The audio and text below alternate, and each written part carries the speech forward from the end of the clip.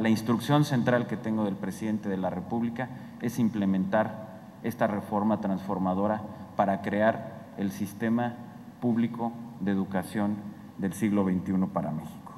Para quienes han cuestionado que por qué Aurelio Nuño, quien era jefe de la oficina de la presidencia, haya pasado a una Secretaría de Educación Pública donde ha habido personalidades en materia educativa y sobre todo de gran participación social, como un Vasconcelos, como un Torres Bodet, como un Bravo Aguja y otros, bueno, pues desconocen que Aurelio Nuño, que tiene quizá una corta edad para otros, es quien hizo la reforma educativa junto con Emilio Chualpet Chemor, ahora exsecretario de Educación Pública, y quien, de acuerdo a la información que tiene este su servidor, será enviado a Madrid como embajador de México en España.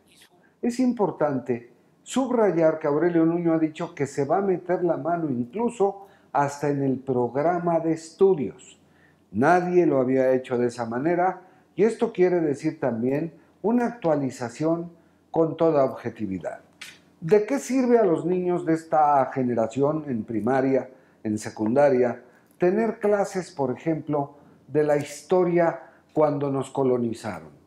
Quizá eso se vaya aprendiendo después para que ese tiempo, en esa materia y en otras, se pueda reforzar lo que es lectura, lo que es matemáticas, lo que es utilizable, más que lo que es de acervo de tipo cultural. Si bien es cierto que cultura es todo lo que queda después de todo lo que se ha leído, los jóvenes deben aprender a hacer la tarea manualmente, no por internet, no googleando el tema, imprimiendo y entregando la tarea.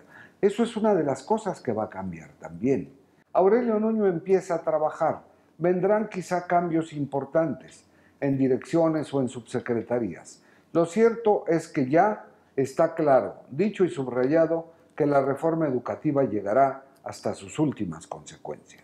Las evaluaciones deberán de tomar en cuenta los contextos regionales y socioculturales.